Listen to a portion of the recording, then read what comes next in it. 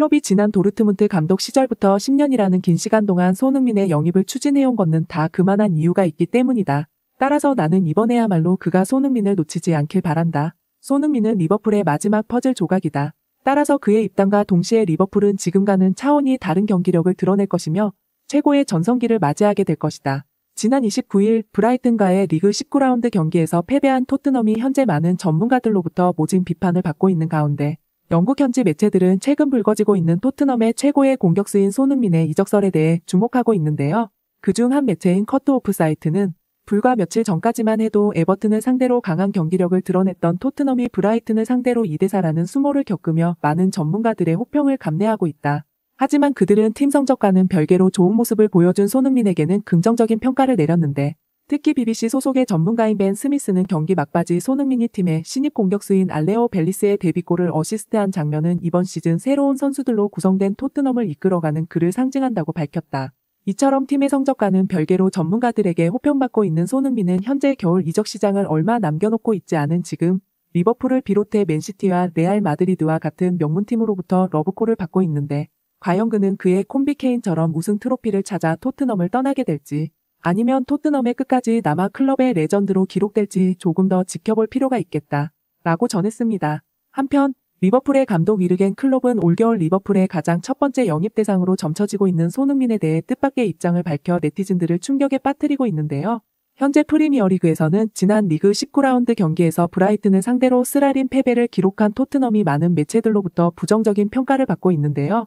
그중 특히 온라인 매체인 골닷컴은 토트넘의 얇은 선수층이 또다시 문제를 일으켰다. 얼마 전 팀의 부주장이자 최고의 수비수인 로메로의 갑작스러운 부상으로 인해 풀백 자원을 가지고 포백을 구성하게 된 토트넘은 최악의 수비력을 드러내며 상대팀이었던 브라이튼을 상대로 4골이나 실점하게 되었는데 하지만 그들의 문제는 여기서 끝이 아니었다.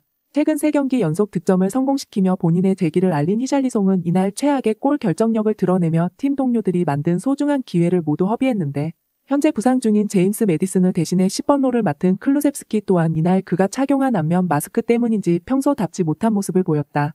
하지만 해당 경기를 소화한 토트넘의 모든 선수가 이와 같은 부정적인 평가를 받은 것은 아니다. 가디언 소속의 전문가 제이미 잭슨은 이날 팀의 왼쪽 라인을 맡았던 벤 데이비스와 데스티니 우도기, 호이비에르와 손흥민은 팀 성적과는 별개로 준수한 활약을 선보였다고 호평했는데 특히 벨리스의 득점을 어시스트하며 경기 종료 휘슬이 울릴 때까지 최선을 다한 손흥민과 경기 종료 직전 환상적인 득점을 기록한 벤 데이비스는 토트넘이라는 팀에 있기 아까울 정도로 강한 투지를 가졌다고 밝혔다.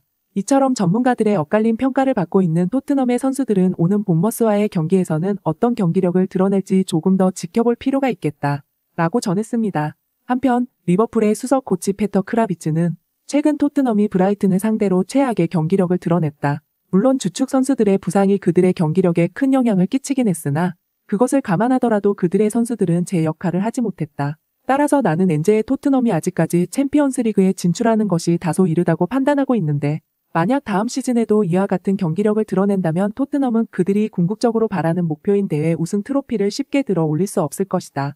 그렇기 때문에 그들이 좀 더 나은 결과를 얻기 위해서라면 충분한 예산을 가지고 시간적 여유를 가질 필요가 있다고 생각하는데 현재 팀에서 가장 비싼 몸값을 기록하고 있는 캡틴 손흥민은 연장 옵션을 포함 계약이 2년째에 남지 않은 상태이다. 따라서 토트넘은 그가 토트넘에서 은퇴를 하겠다고 결심한 것이 아닌 이상 그의 폼이 절정에 다다른 지금 그를 매각하는 것이 가장 현명한 판단이라고 볼 수 있다. 라고 전하며 그렇다면 그는 어느 팀으로 가야만 할까? 나는 그가 안필드로 와야만 한다고 생각하는데 우리 팀은 리그 최고의 공격수인 그에게 맞는 대우를 해줄 수 있는 여건을 갖추고 있으며 토트넘이 원하는 만큼의 이적료를 지불할 수 있는 예산을 가지고 있다. 게다가 나를 비롯한 구단의 간부들, 선수들과 팬들까지 모두 그에 대해 좋은 감정을 가지고 있기 때문에 그가 우리 팀에 오더라도 적응하는 데는 큰 어려움이 없을 것이라 생각하고 있는데 이미 클럽은 그를 중심으로 한 전술을 준비해 놓은 상태이며 각포와 고메즈 또한 그와 좋은 호흡을 맞추기 위해 그의 플레이를 집중적으로 분석하고 있기 때문에 그가 만약 우리 팀으로 온다면 그와 우리는 반드시 좋은 시너지를 발휘할 수 있을 것이다. 라고 밝혔는데요. 해당 소식이 전해지자 영국 최대 축구 커뮤니티 사이트에서는 소니는 아무래도 붉은 유니폼이 어울려 솔직히 이 정도 정성이면 리버풀로 이적해야만 한다고 봐. 소니가 있는 리버풀이라면 트레블도 가능할걸? 과 같은 반응이 올라왔습니다. 한편 영국 매체 기브미 스포츠는 최근 토트넘의 캡틴 손흥민의 이적설이 많은 매체에 관심을 모으고 있는 가운데 그의 영입에 대해 뜻밖의 입장을 밝힌 리버풀의 감독 위르겐 클롭이 현재 많은 네티즌들 사이에서 화제가 되고 있다. 얼마 전 리버풀의 한 지역지인 리버풀 ITK와 인터뷰를 가진 클롭은 번리와의 경기에서 승리를 거둔 것에 대해 큰 기쁨을 느끼고 있다고 밝혔으며 원정 경기였음에도 불구하고 번리에게 단 한 골도 내주지 않고 승리를 얻은 것이 만족스럽다고 전했는데 오는 1월에 개최되는 아시안컵과 아프리카 네이션스컵으로 리버풀의 주축 선수들이 팀을 이탈하기 전까지 최대한 승점을 많이 따놓을 것이라고 밝혔다. 이에 클롭의 대답을 듣던 기자가 현재 리버풀이 염두에 두고 있는 손흥민이 아시안컵 명단에 포함되어 있는 점을 언급하며 해당 사안에 대해서는 어떻게 생각하냐고 묻자 클롭은 오히려 그 점을 다행으로 생각한다고 대답했는데 팀 전력에 즉각적인 도움이 될 수 있는 선수들을 영입하는 겨울 이적 시장에서 아시안컵 차출로 기력이 소진되어 있을 손흥민을 영입하는 팀을 드물 것이라고 전했으며 이 덕분에 리버풀은 어렵지 않게 손흥민을 영입할 수 있을 것이라고 밝혔다. 이에 대답을 듣던 기자가 왜 그렇게 손흥민의 영입을 맹목적으로 추진하고 있는지 또 왜 다른 선수들에게는 엄격하면서 손흥민에게는 유독 애정을 보이며 그를 뒤에서 챙겨주는 것인지 묻자 클롭은 많은 팬들이 알다시피 본인이 독일에 있을 때부터 손흥민에 대한 애착을 가져왔다고 대답하며 이처럼 클롭 본인이 그를 챙겨주는 것은 손흥민이 그 어느 선수보다 축구라는 스포츠에 대한 건강한 가치관을 가지고 있기 때문이라고 밝혔는데 이런 그의 가치관이 클롭 본인이 추구하는 방향과 일치하기 때문에 그를 아끼지 않을 수 없다고 전했다. 이어서 클롭은 본인의 예상대로 요즘 손흥민이 최고의 퍼포먼스를 보여주고 있는 것에 대해 행복함을 느끼고 있다고 밝혔는데 한편으로는 본인이 그를 일찍 데려가지 못해 그가 더 큰 명성을 얻지 못한 것이 아쉽기도 하다고 전했으며 이번에 만약 그를 영입하는데 성공한다면 손흥민이 은퇴하기 전까지 리버풀 최고의 간판 스타가 될 수 있도록 최선을 다할 것이라 밝혔다.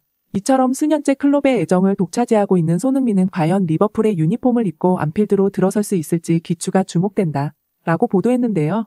해당 보도가 전해지자 리버풀의 공식 팬 커뮤니티 사이트에서는 소니 유니폼 얼른 사고 싶어. 빨리 우리 팀으로 와. 아무한테나 잘해주는 성격이 절대 아닌 클롭이 이 정도로 구애했으면 한 번 넘어올 때 됐잖아? 제발 레비가 평소 하던 것처럼 소니를 팔았으면 좋겠다. 와 같은 반응이 올라왔습니다. 한편 영국 매체 데일리 미러 소속의 리버풀 전문 기자 데이비드 머독은 현재 리버풀이 리그에서 좋은 성적을 거두고 있음에도 불구하고 맨시티와 아스날에 비해 이번 시즌 리그 우승 트로피를 차지할 가능성이 낮을 것으로 추측되고 있다. 이는 그만큼 현재 그들이 가지고 있는 전력이 리그 우승을 달성할 만큼 충분하지 않음을 뜻하는데 만약 손흥민이 있다면 얘기는 달라진다. 지난 수년 동안 리버풀의 러브콜을 받아오며 최근 다시 그들의 부름을 받고 있는 손흥민은 올 시즌 팀을 떠난 케인의 원톱 역할을 완벽하게 소화해내며 최전방 공격수의 자질을 충분히 증명해냈다. 따라서 나는 그의 폭넓은 포지션 소화 능력이 433 포메이션 체제를 선호하는 리버풀에게 있어서 훌륭한 메리트가 된다고 생각하는데 만약 그가 최전방 공격수 포지션을 소화하게 된다면 그는 살라와 함께 공격 시퀀스를 만들어낼 수 있으며 왼쪽 윙포워드를 소화하게 된다면 누네스나 조타, 각포와 같은 전방 공격수와 호흡을 맞출 수 있다. 게다가 지금 리버풀에게는 그를 지원해 줄 수 있는 충분한 미드필더 자원들이 있기 때문에 그가 만약 리버풀로 떠나게 된다면 그는 여태껏 그가 겪어보지 못한 선수들과의 호흡을 맞출 수 있을 것이며 리버풀 또한 그의 입단과 동시에 아시아 팬들로 하여금 경제적인 수익을 얻어낼 수 있을 것이다. 라고 밝혔는데요. 이처럼 많은 이들의 관심을 모으고 있는 손흥민은 그들의 염원대로 리버풀의 유니폼을 입고 우승 트로피를 들어 올릴 수 있을지 그의 행보를 계속 지켜봐야겠습니다. 이상으로 영상을 모두 마치겠습니다. 긴 영상 끝까지 시청해주신 많은 분들께 감사드립니다.